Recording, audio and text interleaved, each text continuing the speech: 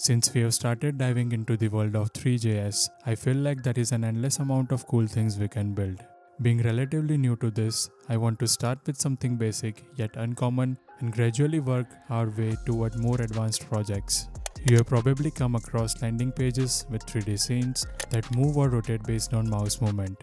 It's a widely loved effect that creates an immersive experience. In today's video, we'll create something similar.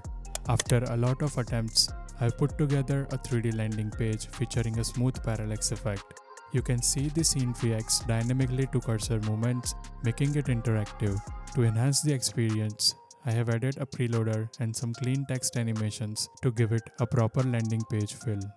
In this video, I'll guide you step by step on how to create this 3D parallax effect using HTML, CSS and Three.js. I've noticed how much you guys liked the last 3D tutorial, so I'll try to keep bringing more exciting 3D projects in the future. If you enjoyed this video, don't forget to hit the like button, it helps me keep creating. And if you haven't already, make sure to subscribe for more tutorials. For those who are interested in the source code, you can check out the link in the description. Alright, let's jump right into it. Let's start by discussing the assets. To begin with, you'll need a 3D scene, since many of us don't have experience with tools like Blender or Cinema 4D, Sketchfab is a great alternative. It offers thousands of free 3D scenes ready to use. I'll include the link to the model I'm using in this video. For this project, I'm using GLTF format. As for the project structure, I created a folder named Assets and placed all the downloaded files inside it. In addition to that, we'll have the usual HTML, CSS and JavaScript files. Make sure to include all the necessary CDNs. Apart from the Three.js, we'll need this post-processing library to achieve the glowing bloom effect using emissive materials. I'll later cover how to use it in this project. Let's start with the HTML structure. First, we need a container to hold our 3D scene. For this, I created an empty div with the class name corridor. Next, I added a loading screen a simple div with the class loading to display a message while the model is rendering. For the rest of the page, I added some placeholder content to give it a more complete look. This part is optional if you are focusing solely on the 3D scene. I created a section called Hero that includes a navigation bar. The navbar is divided into three parts. Inside each, I added some placeholder links.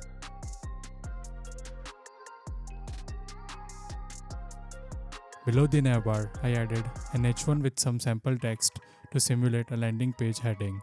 Finally, at the very bottom, I added a footer with a sample paragraph element. And that's it for the HTML structure. Now let's move on to the styling. First, I'll do a global reset by removing default margins and paddings and setting box sizing to border box. For the HTML and body, I set their width and height to 100% to make sure our layout spans the entire viewport. I will also add a dark background color. The corridor class, which holds the 3D scene, is positioned absolutely to cover the entire viewport. For the loading screen, I centered the text both vertically and horizontally using fixed position and transform technique. I styled the text in uppercase with a clean font and set the color to white.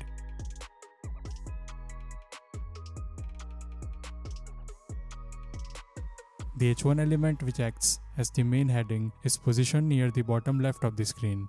It spans 60% of the width, uses uppercase text styling and is styled with a futuristic font.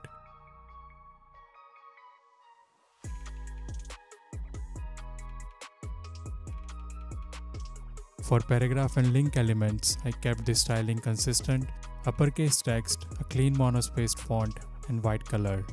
Links have no underline to maintain a minimalistic look. The hero section, which contains the navbar and the other content, is layered on top of the 3D scene using higher Z index. I will also add a mix blend mode set to difference to create a cool blending effect with the scene. The nav is positioned at the top and spans the full width of the viewport. It uses Flexbox to align its items in a spaced out layout. For the navigation links, I used a flex container with gaps to create even spacing between them. Lastly, the footer is stuck neatly into the bottom right corner with absolute positioning and some padding for a balanced look. With these styles in place, we now have a minimal and futurist layout to complement our 3D scene. let's move on to the JavaScript part. Let's start by creating the foundation for our 3D environment. We need a scene which acts as the container where all 3D objects, lights and cameras will live. For the background, I have set it to white. Next, we need a camera to view the scene. I'm using a perspective camera which mimics how our eyes see the world, making the 3D objects look more natural. The camera is configured with a wide field of view and I matched its aspect ratio to the screen size so it scales properly on any device. Then we set up a renderer. The renderer's job is to take all the objects in our scene, process them and display the result on the screen. I have optimized it for performance by turning off features we don't need like anti-aliasing or depth rendering and set the pixel ratio to ensure it works smoothly on high resolution screens.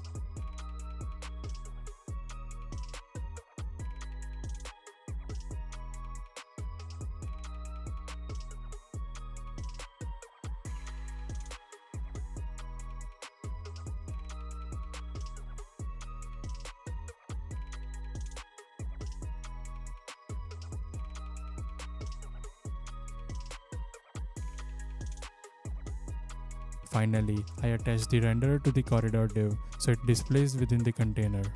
Now that we have the basic setup, we need to light up the scene. Lighting is important because it makes the objects visible and adds depth to the environment.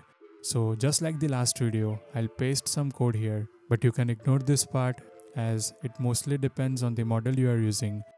With the lighting in place, we move on to the camera's position.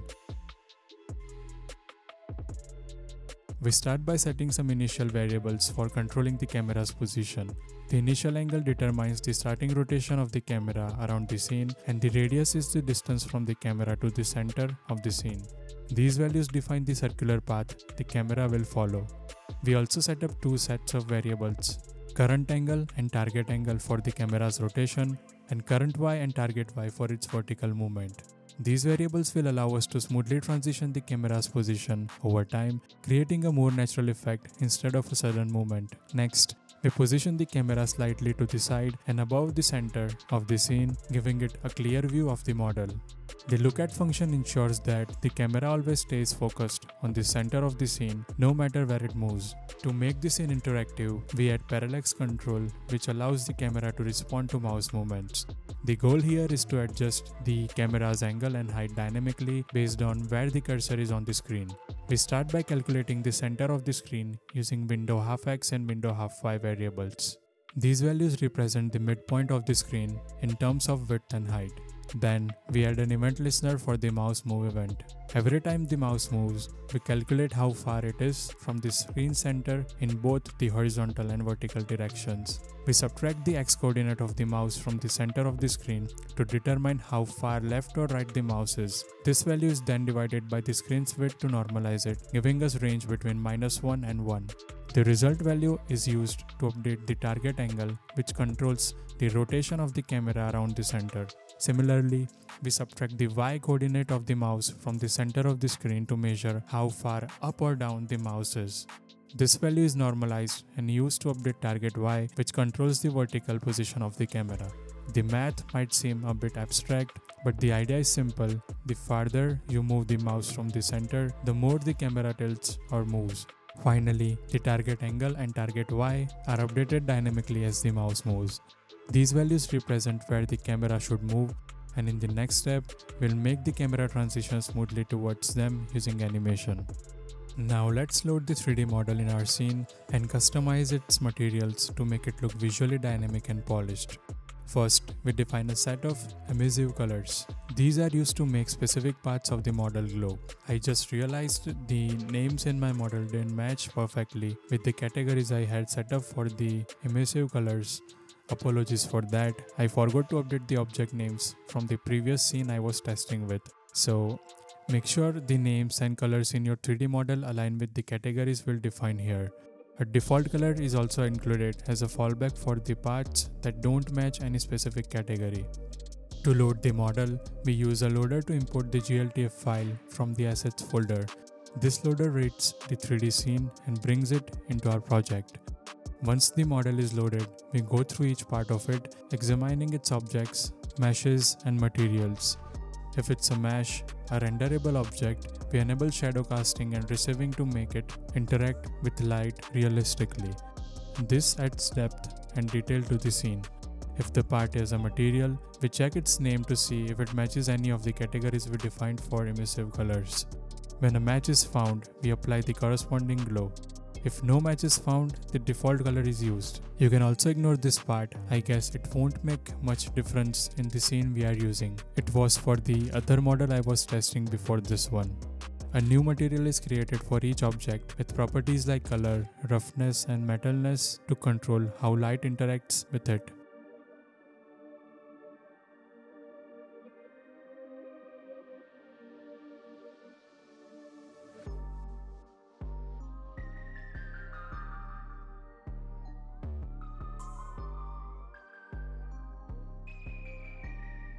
For the parts with textures, we adjust their encoding and orientation to ensure they render correctly.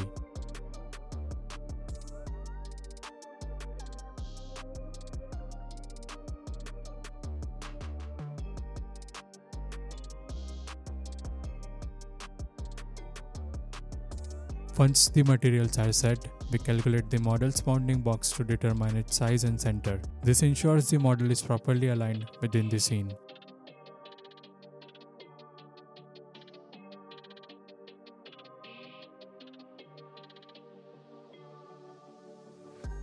Finally, we add the model to the scene and hide the loading screen indicating that the 3D environment is ready to go. With the model in place, we'll move on to post-processing and further enhancements. First, we use a render pass to render the scene and the camera together.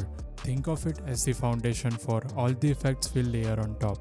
Next, we add the bloom pass, which is crucial for creating the glowing effect in our scene. This pass enhances the brightness of the light sources giving them a realistic glow and adding depth to the overall look. The bloom effect uses settings like intensity, radius, and threshold, and I highly recommend experimenting with these values. Small tweaks can significantly impact how the exposure, glow, and overall ambience of your scene turn out. I initially struggled with getting the lights to glow correctly. I spent hours tweaking settings and troubleshooting, but nothing seemed to work. Finally, I came across this Reddit post that recommended using this specific post processing library. It was a game changer and it completely transformed how the lights and glow effects looked in the scene. With this setup, the glow effects blend seamlessly into the environment, adding a futuristic and immersive vibe to the 3D scene. To enhance the overall visual experience, I decided to add an animated grain effect on top of the scene. This effect isn't essential for the 3D setup, so feel free to skip it if it's not something you want in your project. To achieve this, I used a small custom shader for the grain effect. I'll paste the shader here for reference. I actually asked ChatGPT to create this for me and it worked quite well. The shader introduces random noise to the scene which animates over time creating a film grain effect. Once the grain effect was ready, I combined all the post-processing effects using a composer. The composer acts as the final pipeline where all rendering passes are layered and processed sequentially. First, the render pass draws the scene and camera. Next, the bloom pass adds the glow effects. And finally, the film grain pass applies the animated grain texture on top of everything. Next, we'll wrap things up with the animation loop and rendering process. To make transitions between movements smooth and natural, I used a function called lerp, which stands for linear interpolation. This function helps us gradually transition between two values over time. For example, it smoothly adjusts the camera's position from its current angle to the target angle and its side from the current Y position to the target Y position. Inside the animate function, the loop starts by calling itself using request animation frame, ensuring the animations are optimized for the browser's refresh rate. The time uniform of the film grain effect is updated to ensure the grain animation progresses smoothly. The camera's angle and vertical position are updated using lerp to create a fluid motion. The angle determines the circular path around the scene, while the vertical position adjusts the camera's height.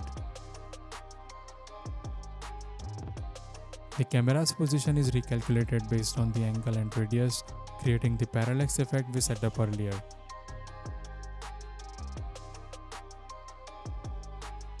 Finally, the camera is instructed to look at the center of the scene, keeping the model in focus, and the composer renders the scene with all the post-processing effects applied. This loop runs continuously, updating the scene in real time and making it interactive and dynamic. Let's call the animate function to start the render loop.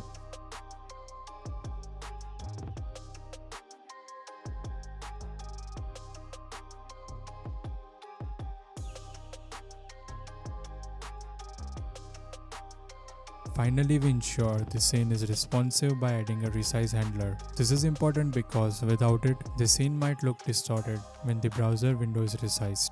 The resize handler updates the camera's aspect ratio to match the new screen size, ensuring the perspective remains correct.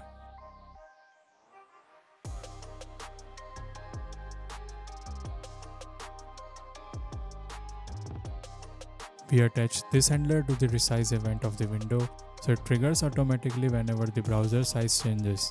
With the animation and resizing in place, the 3D experience is complete and ready to shine on any screen size. Hope you found the video helpful. See you in the next one.